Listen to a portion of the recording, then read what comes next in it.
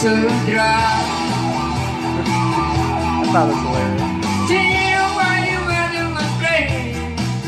Actually, better than the original song, in my opinion.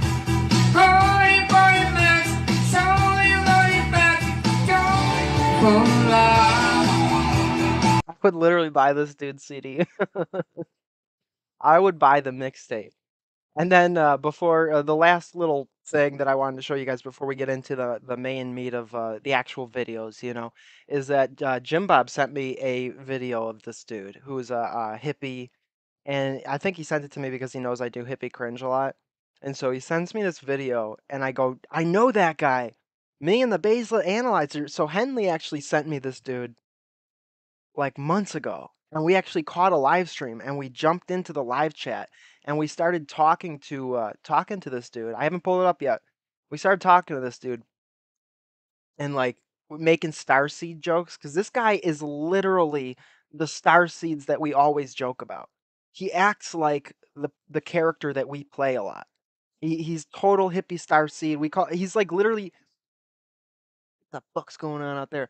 He's Boomer Garcia in the flesh. Like Jay's character, Boomer Garcia, he's literally this dude. And uh, so when Jim Bob sent me uh, a live stream he did, I thought it was hilarious, and uh, I wanted to pull it up on stream. Check this out.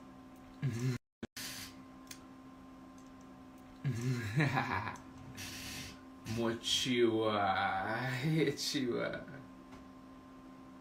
Much respect to all of you, holy ones. Ha, you my guy.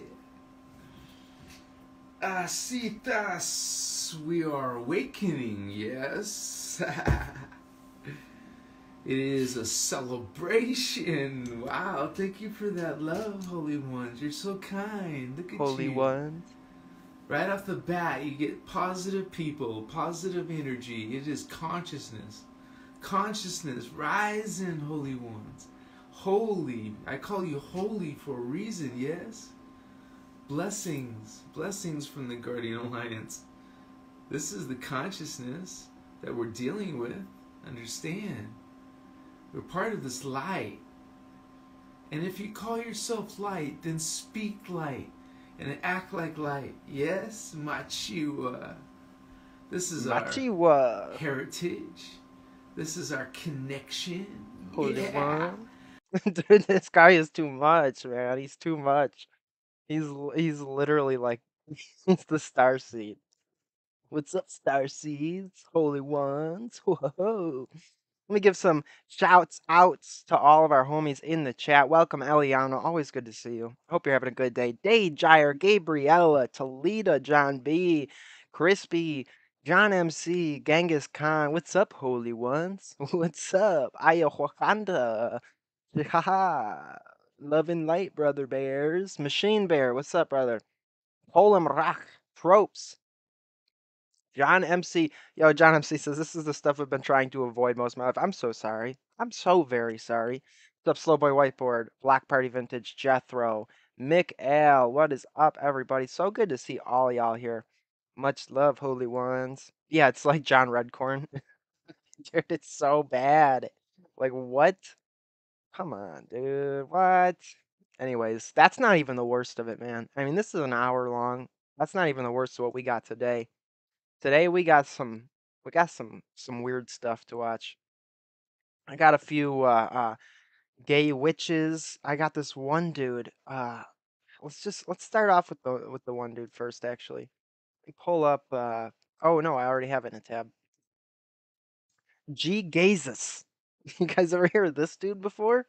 A place for all the queers of the world. Isn't that great? I know a few people who could really use this channel.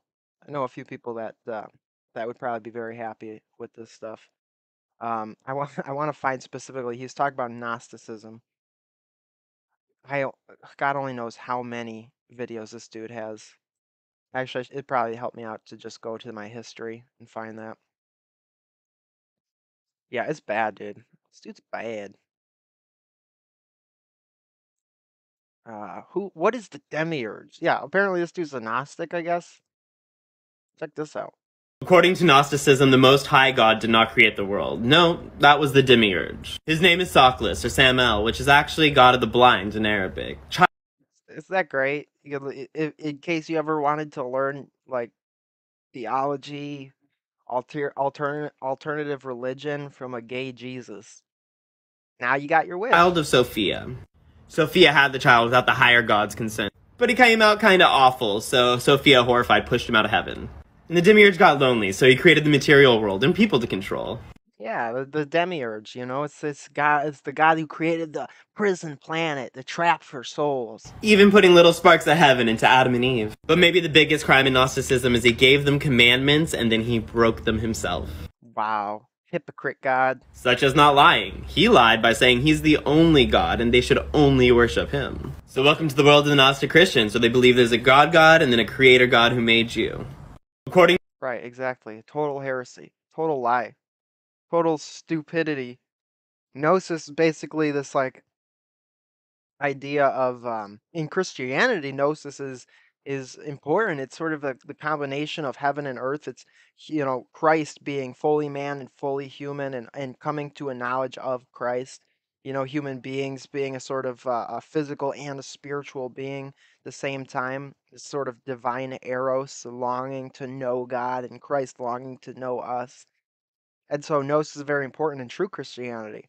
Uh, Gnostics, though, view gnosis in a in a very Platonic sense, coming out of the cave, if you will, of Plato's cave, um, transcending the illusion of Maya, of reality, of physical being, and um, to them, Christ is sort of uh, a ghost figure almost. Like he was never fully human because humanity is bad. Physical being is bad.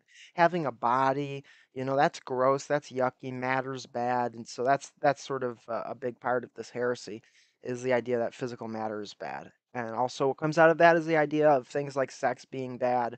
You know, a necessary evil, like we talked about on some of our early streams.